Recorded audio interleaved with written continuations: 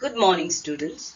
In the last class, we have learned about a sentence. What is a sentence? And we have also discussed about the two parts that is the subject and the predicate. In today's class, we shall discuss some rules while we write a sentence. The use of capital letters and punctuation. Capital letters.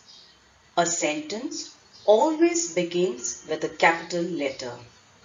Example He is a clever boy.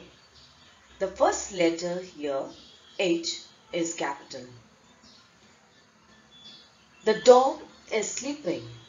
Here, the first letter is T and it is written in capital letters. Capital letters are also used when we write the following nouns.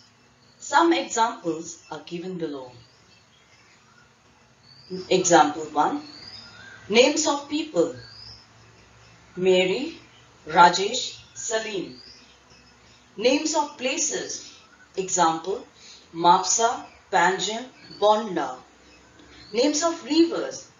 Mandovi, Zuari, Ganga. Names of countries. Example, India, China, England. Names of states. Goa, Maharashtra, Karnataka. Months of the year. January, March, June. Some more examples. Names of subjects like English, Konkani, Science. Names of holy books. Example, the Quran, the Bible, the Gita. Names of planets, Mercury, Venus or Earth. Names of festivals, Christmas, Eid or Diwali. Days of the week, example, Sunday, Monday, Tuesday. All these words need to be written in capital letters. Students, please remember while writing the pronoun I, it is always written with a capital letter. Example, I am a boy. Example 2, can I go out to play? In the first sentence, I is at the beginning of the sentence, so it is it has to be capital. In the second sentence, I is in between the sentence. Please do not write I in small letters. It is always written in capital letters. Next example. Short form also begin with capital letter. For example, MR refers to Mr. M is capital. Mrs refers to a lady who is married. M is capital. Miss is for a girl who is not married. So M here also is capital. When we write doctor, D is capital. So likewise doctor teacher will also be capital letters. Each word in an abbreviation is also written in capital letters. Example, PO or USA, that is United States of America. Now let us discuss some of the punctuations. First one, a full stop. A full stop is used at the end of the sentence. Example, I can run fast. The sentence ends with a full stop.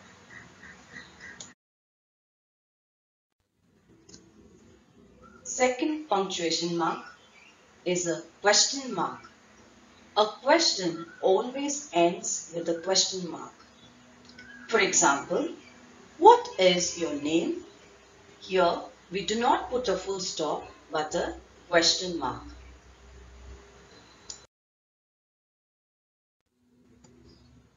The exclamation mark.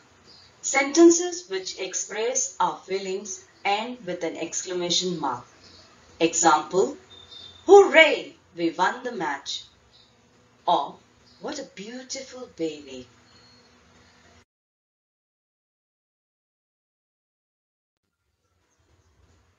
The use of comma. The comma is used when we want to pause a sentence. It is used usually after the words yes and no. Example, no, I cannot hear you. Yes, you may come in. Comma is also used to separate or break up a sentence. Example, do not beat me, I'm Boto, I'm not a robber.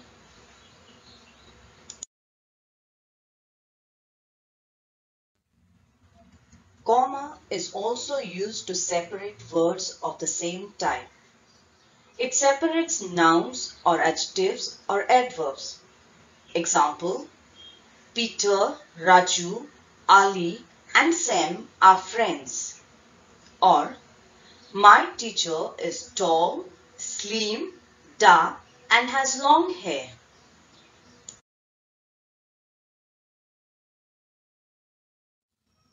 The tortoise walked slowly, steadily and carefully to win the race.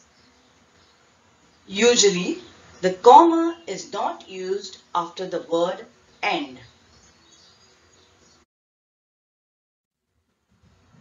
Use of apostrophe in a sentence. The apostrophe is usually used after a word with the letter S to show possession. Example, the boys bet. Here, after the word boy, apostrophe and S is used to show the possession. The farmer's cow, after the word farmer, apostrophe is used and a S to show the possession.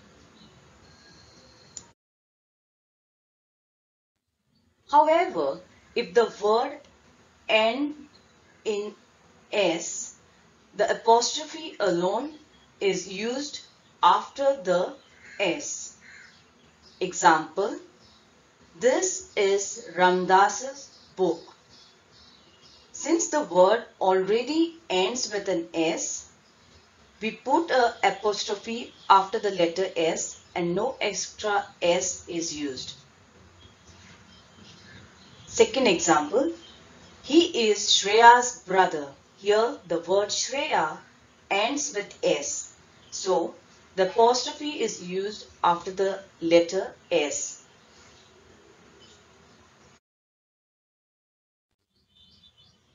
The apostrophe is also used when one or two letters have been dropped. Example, contractions. Was not becomes wasn't. That is, you write the word was, N, apostrophe and then T. Cannot can be shortened as can apostrophe T. The apostrophe is also used when telling the time. 5 o'clock. After O, you put an apostrophe and write the word clock.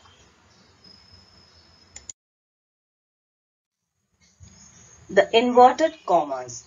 The inverted commas are used to show the actual words of a speaker. Example, the teacher said, stop talking. What did the teacher say? Stop talking. Here, by the use of inverted commas, we know at the actual words the teacher said. Example 2. I can't solve this sum, said Swati. What did Swati say? I can't solve this sum. We know exactly what Swati said because it is written in inverted commas. In today's class, we have learned the use of capital letters and different types of punctuations. Students, I hope you have understood it well and you are ready to solve the exercises.